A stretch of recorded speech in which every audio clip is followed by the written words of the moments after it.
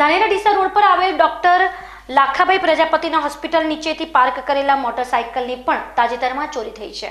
જ્યારે ધાનેરા પુરવઠા ગોડાઉન પર રાયડા બાબતે નોંધણી કરવા આવેલા અન્ય એક યુવકનું પણ એક વર્ષ જૂનું બાઇક ચોરાઈ ગયું છે. આખી ઘટના હોસ્પિટલની બહાર લાગેલી સીસીટીવી કેમેરામાં કેદ થઈ ગઈ છે, જેમાં નીચે પાર્કિંગમાં પડેલ ત્રણ મોટરસાઇકલમાં પ્રથમ મોટરસાઇકલ ચોરવા માટે ઈસમ પોતાના પાસે રાખેલી માસ્ટર ચાવીનો ઉપયોગ કરે છે. જો કે પંદર મિનિટ સુધી મહેનત કરતા આ મોટરસાયકલનું લોક ખુલતું નથી.